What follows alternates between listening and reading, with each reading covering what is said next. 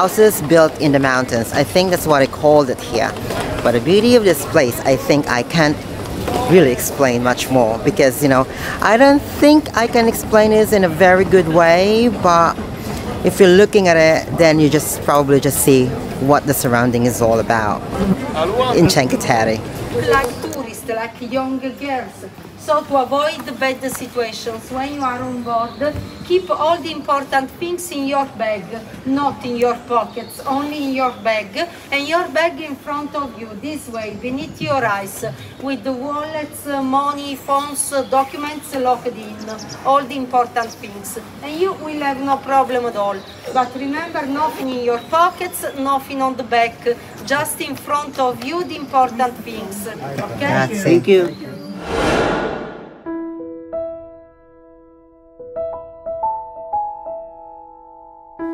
My train journey from Portofino to Levanto offers an efficient and scenic way to explore the Italian Riviera. This route traverses several picturesque towns, providing travelers with a comprehensive view of the region's diverse landscapes. My trip typically includes stops in notable locations, allowing passengers to observe local life and architecture. My journey showcases the stunning Italian countryside, featuring rolling hills, olive groves, and the charming coastal village visible through the train windows.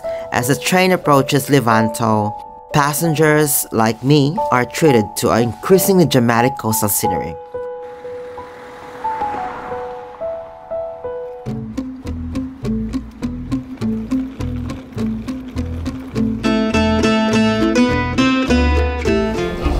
Good day, I've arrived here at Levanto and this is just one of the best places really to stay when you are traveling all the way to visit the Cinque Terre. I mean, it's just one of the beauty of Italy, right? You get to experience the coastal side of Italy to experience what it feels like to be in the Italian vibes. So I am now here at Levanto and the next few days we will be experiencing and also exploring Terre in a different way. I don't know what's in store for me in there, but this is also my first time here at Terre and now here in Levanto, I'm just strolling around to see the beauty of this place. I mean, if you want to experience Italy, the coast side of Italy, you gotta try and visit Terre once in your life. And let's go and check out this place, the Levanto, so we can explore more and see what's to offer.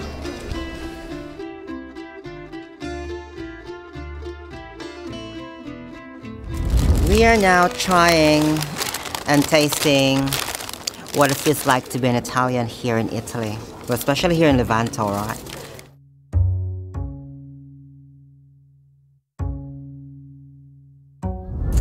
I do really like the vibes here in Levanto. It's quite of a bit of a laid back when you are here. A lot of people, but there are only people who are traveling and passing by this place because it's outside of the Cinque Terre. I mean, Levanto is just the first first stations when you enter the Terre. But this place is so beautiful. I think I kind of like this area.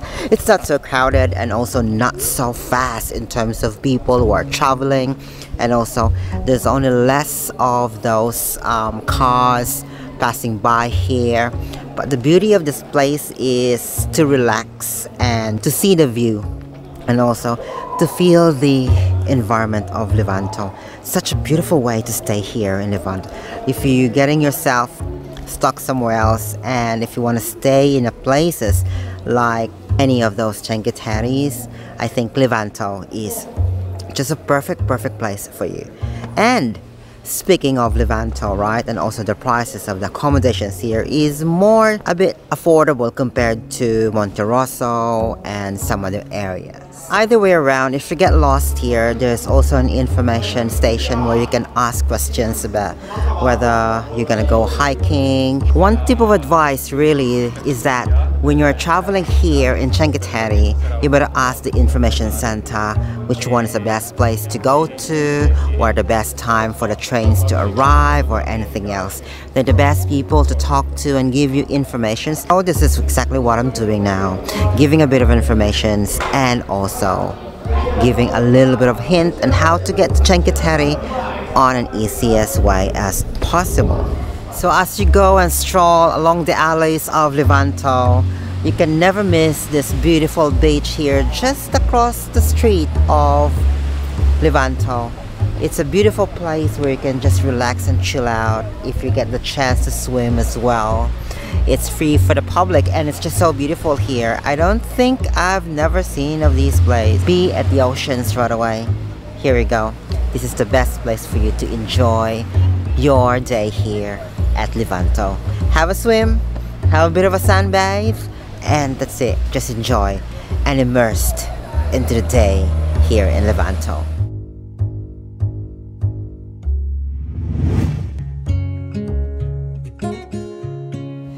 Another day here in Italy and today I'm heading to Cinque Terre and this is one of the famous UNESCO World Heritage Site and if you're traveling here you should definitely visit this place. Now I wake up really in the morning today just to get ready early so I can visit five of the towns here in Cinque Terre. So the first thing to do is get a train ticket, one day pass, which costs around 18 euros and 20 cents and it varies from time to time as well. We are heading now to Cinque The weather is not pretty picking up well. It's raining, hoping that it will clear out the rest of the day. So follow my journey today to Cinque This is gonna be exciting.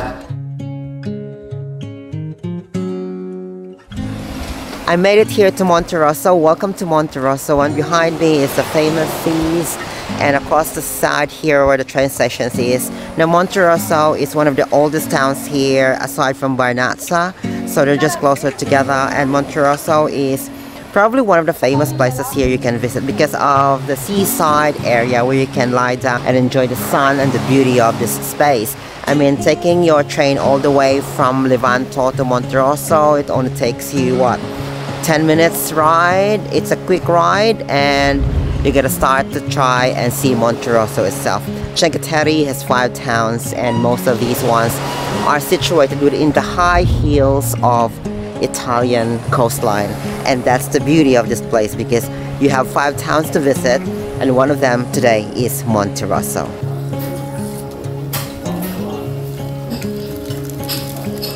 Coffee in Monterosso is so good. I mean, you know, with a beautiful view across the oceans here and also just a small town of Monterosso.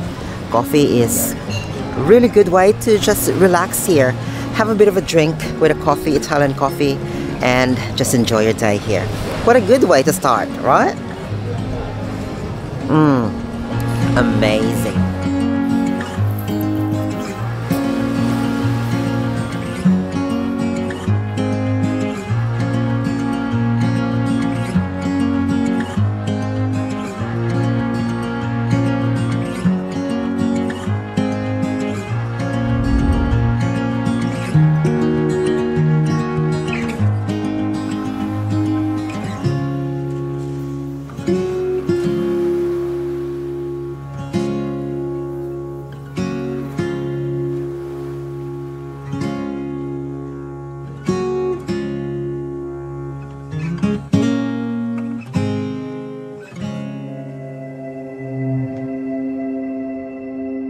Whenever you are here also in Italy, you get a chance to visit some of the nicest churches, Catholic churches here, and you can never miss them in every town. There's always churches here that you can visit, pray, and also pay respect. One of the five towns here in Cinque I think Monterosso has plenty of spaces of accommodations here.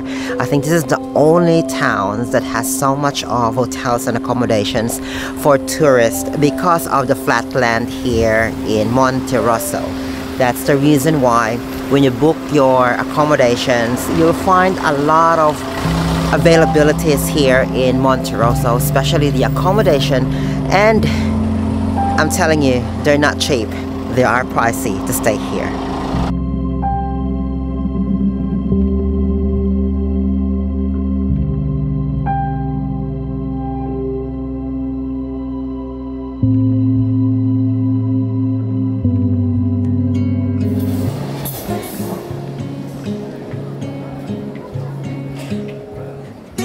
So welcome to Vernazza. Another way you can enter Vernazza is through the train in the five towns of um, Cinque Terre, or we call it the Cinque Terre. Vernazza is one of the oldest town here. It's also the same thing as the Monterosso. So these two of these ones are tied together as part of the oldest town of Italy and here in Cinque Terre. As you go through to the space of Cinque and Vernazza, you kind of feel like you are actually walking through the old past of the medieval part of Italy. Like all these buildings here and the colors are so beautiful, it's so romantic, it's just one of a kind. This place, small area, but very, very crowded because of the popularity of the small villages here in Terre, the color and the structure of the architecture dating back from the Baroque period to medieval times and also to the Renaissance part of Italy. How beautiful this place is. Now there are certain parts here in Vernazza to look at for. There are famous places here that you need to see as well and look at it and also visit. Take your time here as you immerse yourself to the way the Cinque Terre is made of. Casa Torre is always on, means on top of the mountains. Houses built in the mountains. I think that's what I called it here. But the beauty of this place, I think I can't really explain much more because you know I don't think I can explain this in a very good way but if you're looking at it then you just probably just see what the surrounding is all about. Welcome to Vernazza in Cinque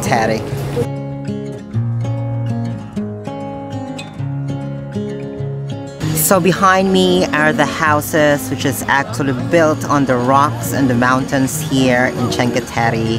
As you can see, it's just so beautiful to see the colors of you know the Italian coastlines mixed together here. It's not sunny today, but the weather is almost picking up as well. But the beauty of this place is I kept on you know stressing out that it's so different from the rest of the places you've seen here in Italy. Well, this is what Cinque Terre is all about. Right? If you're also traveling here to Cinque Terre, there's another way that you can access all the five towns here. And you can also take a boat to visit the other towns. But of course, if you're taking the boat, you can see a different side of Cinque Terre. But then if you wanted to just be on a rush all the time, then you gotta go take the train which is more easier and accessible by the way. Ferry here is so good because you can see a different view of the town of Cinque. And this is what I'm telling you guys. Cinque is gonna be fully packed if you don't wake up really early in the morning to catch and glimpse the beauty of you know the five towns. You gotta wake up really in the morning just to see it so you don't have to worry about crowds. Now it's so full of people, crowded, but it's still okay.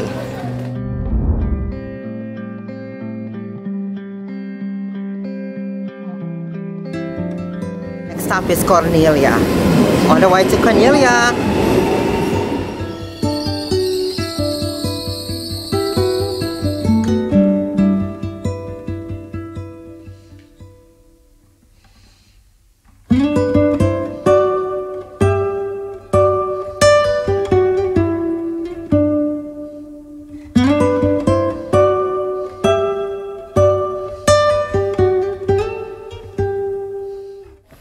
We are now on the way to Corniglia and it's one of the smallest town here as well in Cinque and when you are here at Corniglia be prepared to take a lot of steps because Corniglia is the only place, the only town here in Cinque that needs to be accessible by foot. That means it's not really on the coastline of Cinque as on the other side of the villages. Now this time you gotta walk. So make sure you have a very comfortable shoes or hiking shoes. It's all up on the hill. So to make it easier for you, take your time to walk here, get a bit of a space, pace yourself, and don't rush to visit Corniglia because it takes a lot of steps.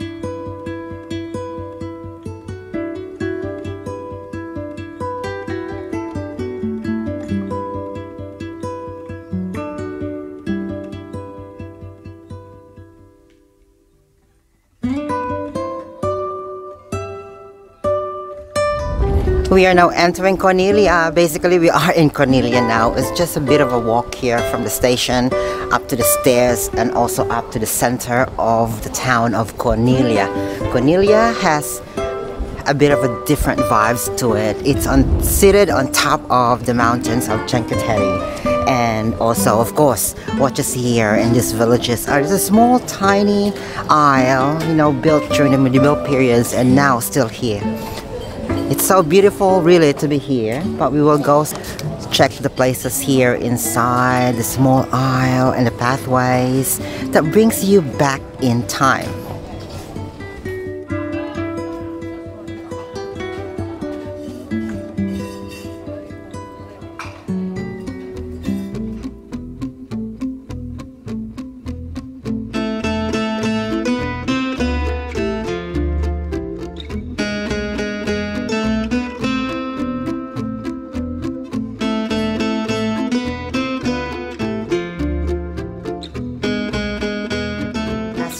And walks through to the aisles and pathways of Corniglia, you find it very romantic as well because you know in Italy all the colors and the colors of the houses here are so beautiful like they all are the same in each villages. But Corniglia has a bit of an exception because it's on top of the hill. It's not really closer to the coastline in terms of Vernazza, Monterosso. But this place is, you gotta hike all the way up just to see the beauty of this small town. Cinque Terre in each towns have so much to offer. I mean, you can get lost in these beautiful medieval towns of Cinque Terre. Just what I said, in every town here, there are churches because of the Catholicism and also because of the religion. But yeah, it's a good way to really pay homage and respect.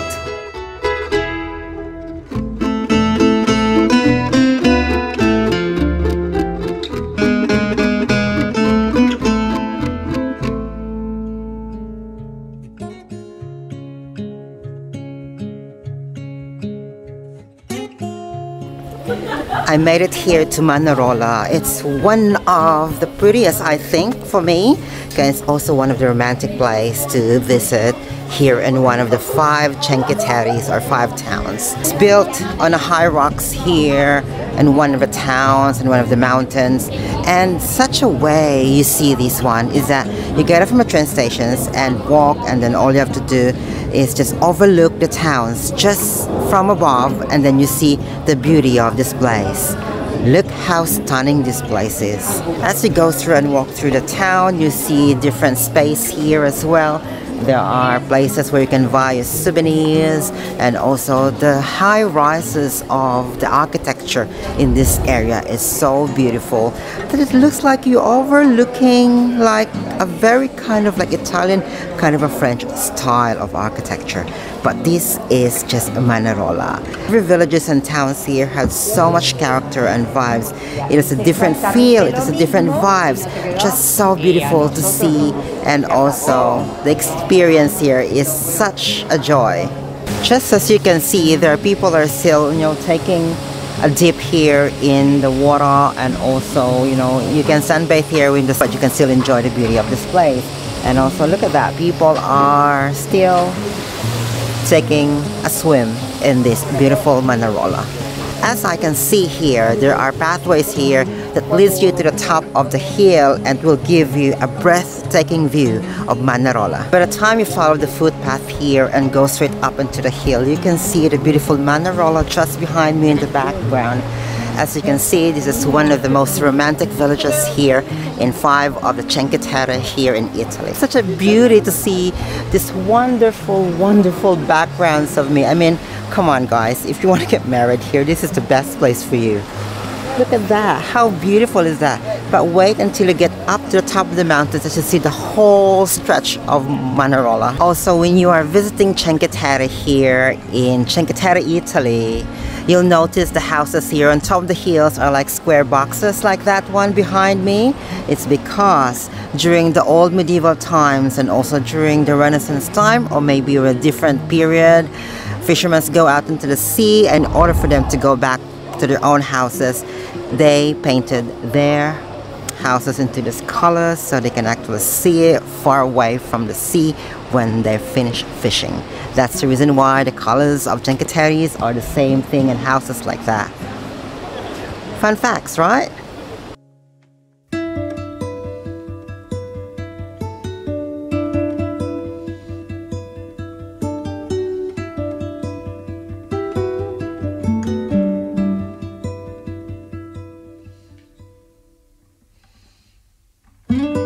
Welcome to Via dell'Amore. As you finish browsing Manarola on your trip here in Cinque Terre, it's necessary for you to travel and get to the next town and using this loved tunnel to travel and cross through the Path of Love tunnel. They said the Path Tunnel of Love is one of the most romantic coastline here in Cinque Terre. We are now starting the pathway of love all the way from Manarola all to Riomaggiore. They said this walk is a pathway of love and it's one of the most romantic coastline walk in the whole world.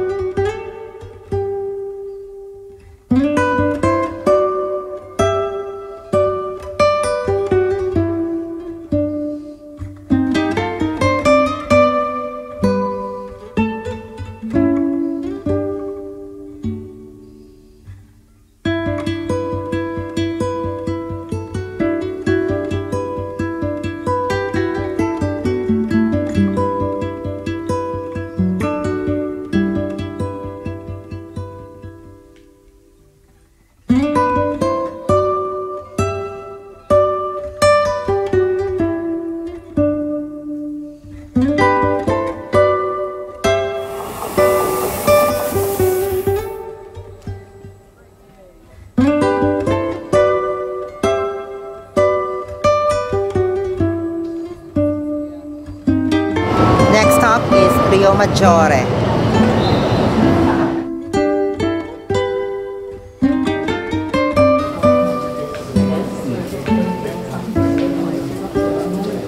Now we are here at Riomaggiore. It's just so close by train from Manarola, and we're we're actually wanted to go the pathway to Love Walk, which is stretches to one kilometer all the way from Manarola to here. However, halfway it's closed, so we have to go back and take a train and go straight to Riomaggiore. Well, this is the beauty of Riomaggiore. It's one of the small villages as well. So you can see they all have the same aspect of the villages here. I mean, the colors of the architecture and the houses, the boxes is also situated here on top of the hill. However, this place is more a bit more commercialized. I see a lot of places here where you can eat as well, dine in, and enjoy the beauty of this place. So if you go here, there are plenty and places to see as well. It depends on what you want to do. You either want to go and dine here or in, just enjoy the moment and immerse into the beautiful Riomaggiore. And I can't wait to show you again this beautiful town and this is what it looks like here. Welcome to Riomaggiore. I hope I said it well or I said it right.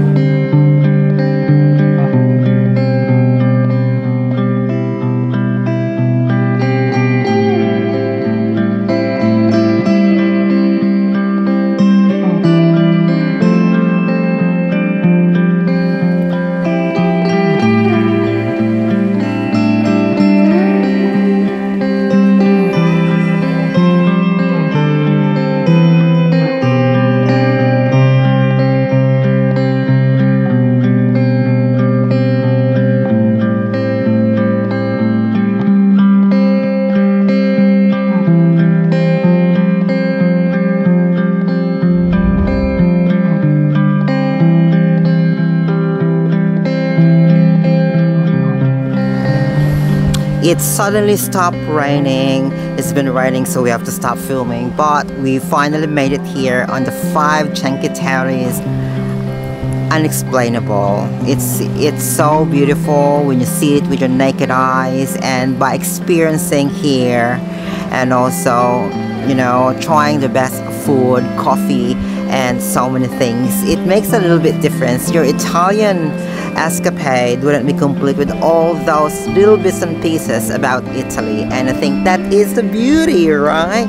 We travel so we can actually reach the destinations and also to immerse and experience the love, beauty, and the history of the country.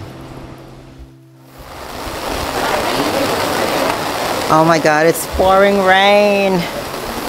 Finally, one of the last villages it's pouring rain. I think I've explored a lot of Terre now.